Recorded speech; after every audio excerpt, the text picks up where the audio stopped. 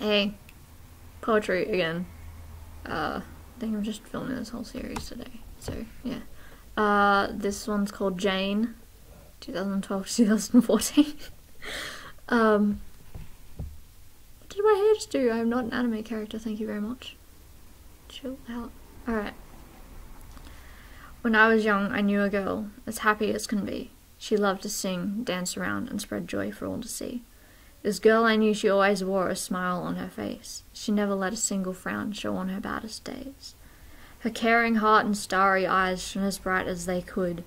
She'd helped both friends and strangers. She'd helped everyone she could.